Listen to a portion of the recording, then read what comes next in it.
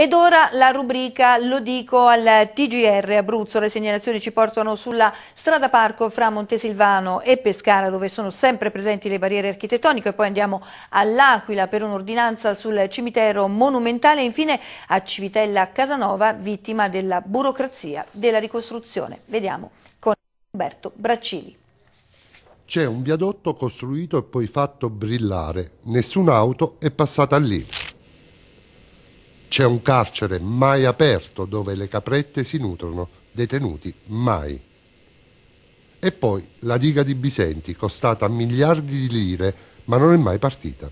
E l'Abruzzo delle incompiute, la lista rischia di allungarsi. Siamo sulla strada parco tra Montesilvano e Pescara. Qualcuno la vorrebbe polmone, qualcuno filovia.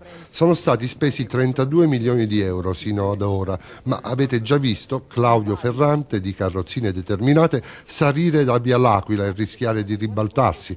E poi l'accesso allo scivolo che punta.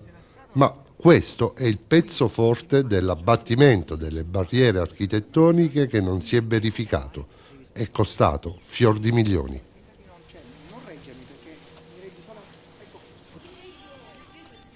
Qui è tutto fuori legge, non hanno rispettato le norme nazionali e internazionali. Ecco, qualcuno è intervenuto però, eh, c'è una data settembre 2013, che cosa è successo? Intanto sono anni che denunciamo questa violazione dei diritti umani. A settembre 2013 il Comitato Via della Regione Abruzzo ha imposto le prescrizioni per l'eliminazione totale delle barriere architettoniche per la strada parco. Quindi 3 più 2, 5 sono 5 mesi e tu hai avuto notizia? Assolutamente no. La cosa vergognosa è che non abbiamo visionato progetto di variante per l'abbattimento delle barriere architettoniche. L'unica cosa che ha fatto la GTM è che doveva far per primo abbattere le barriere, non le ha battute, ha semplicemente potato le piante.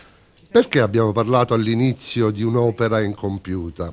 Perché dopo 32 milioni di euro spesi, oggi bisogna trovare altri milioni per abbattere e ricostruire.